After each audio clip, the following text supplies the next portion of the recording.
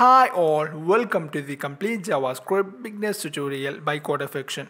In this session, we are going to discuss about variables, declarations and identifiers in JavaScript. Consider you are meeting someone special for the first time. You both introduce each other with your beautiful names and then you by heart their name so that when you meet them next time, you can greet them with their name like Hi Trevor, Hi Alex, etc. If you don't remember their name from last meeting, you will ask their name again in future. So a name is important. It helps us to recognize people among us easily. Same thing is true in programming also. We need to associate names to things which we frequently needed in our program. In JavaScript, there are various types of elements to be named. One of them is variable. You could think of variable as a container that hold information. They provide a way of labeling data with descriptive names. Let's define a JavaScript variable first. So here is my VS Code editor. Within it, I have opened my JavaScript note-taking project. If you want to know how to benefit from these JavaScript notes here, I have made a separate video. Link is there in video description and inside the i card top right corner. Now back to the topic. We'll be writing JavaScript code within this common practice file here and it will be executed within this file index.html. Currently we are running this project within this web browser using the VS Code extension live server. For now you could ignore these interface or controls here and let's focus on this console window to see the output for JavaScript code writing within this common practice file here. Now let me show you how to define a variable. Let amount. That's it. So here we have defined or created a variable amount. To declare javascript variables like this we'll be using keywords like let at the beginning. We will talk about such keywords in next session. Now the process of creating a variable is called declaration. Okay? Declaration. And this statement is called as declaration statement. So far we have created a variable called amount now let's assign a value into it. So amount is equal to 5 bucks. Now we have just stored the data value 5 into the variable. The process of assigning initial value to a variable is called as initialization.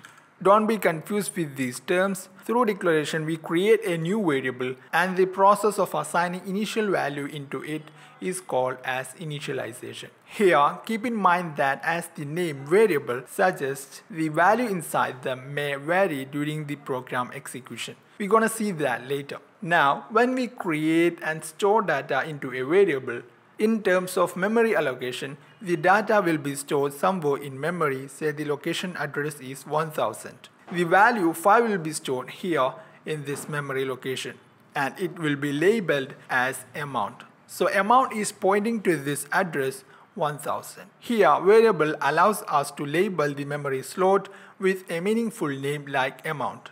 It makes the code more readable. By the way, you don't have to worry about memory addresses while creating variables. I'm just explaining these things to let you know what happens behind the scene. So again, variable is a container to hold information and they are labeled with a name. Most of the time, we combine both declaration and initialization in a single line as follows. For that, I will declare a new variable total amount. So here we have declared the variable at the same time I will initialize that with 100. So both initialization and declaration is done within a single line. This is what we are going to do in most of the case. So far we have discussed what is a variable and what is a declaration in JavaScript. Now I want to add few more points here. JavaScript is case sensitive, means uppercase and lowercase letters are treated as distinct. For example, let's consider following variable declarations. So here we have the variable address. You will be seeing errors like this while typing our code here because the extension live server will be reloading this page whenever we make changes within this project here. So that's fine.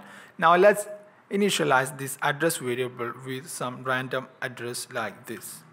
Okay so here we have the variable address and we have initialized that with a random address. Now let me create one more address variable like this address. But this time I will replace this lowercase a with uppercase a and let's initialize that here with a different address.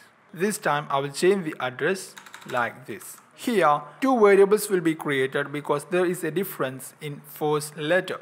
If first variable is stored in memory address say 2000, second variable will be somewhere uh, 2100th location.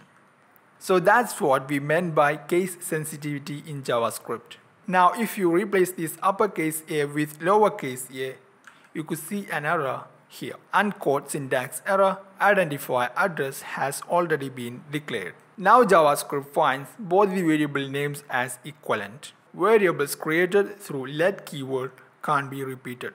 More about let keyword will be discussed in next session. So I hope you understood what we meant by case sensitivity in JavaScript. Now within the error message you could see this term identifier. So what is an identifier? Let me change this to uppercase A. So identifier is a sequence of characters in code used to name elements within our program. Here, the elements includes variables that we currently working with and there are other JavaScript elements that can be named like variables such as functions, properties, etc. All of them will be discussed in future sessions. So the name of JavaScript elements like variable, function, property, etc.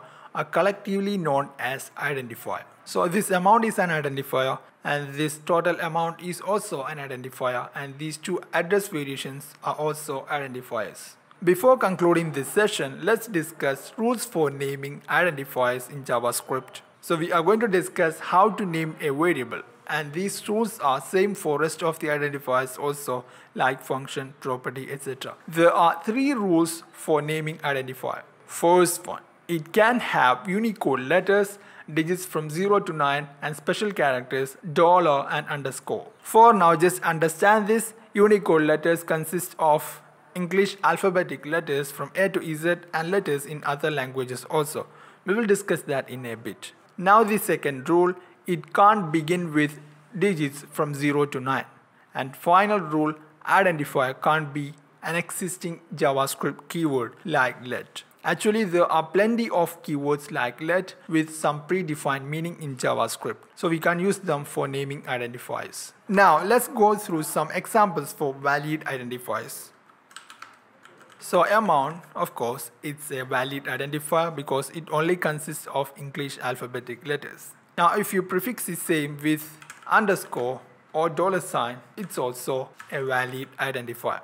As per the first rule, apart from these, we can have digits from 0 to 9 also. So amount 1, 2, 3 is also a valid identifier. But it's not possible to start an identifier with a digit. Let's discuss such invalid identifiers here. Now if you name a variable like one amount, it's not a valid identifier because it is starting with digit. Now what about this identifier here? It is also invalid because this pound symbol is not allowed in identifier. The only special characters allowed in identifier are dollar sign and underscore. Okay. And what do you think about this identifier here? It's also invalid. A JavaScript keyword as it is is an invalid identifier. It already has some meaning in JavaScript. So it's not possible to declare a variable with this name let. If we add other valid characters into it, it's allowed but the keyword as it is is not allowed as an identifier. You could check any of these invalid identifier here. So I'm trying to create a variable with an invalid identifier. So here we have busted, invalid or unexpected token. Okay, that's all about rules for naming identifiers. Now, some of you might be thinking what the hell is Unicode letters?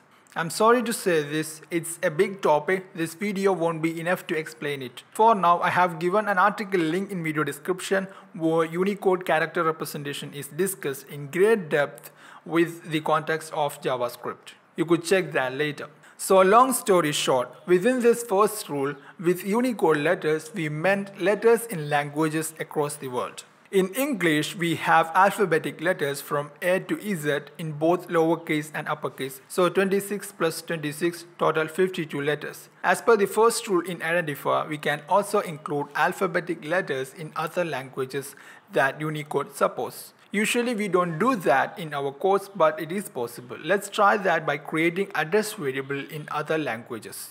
I think it will be fun too. So let's search for the word address in other languages. So I search for the word address in Japanese. So I found this. Let's create a variable with it.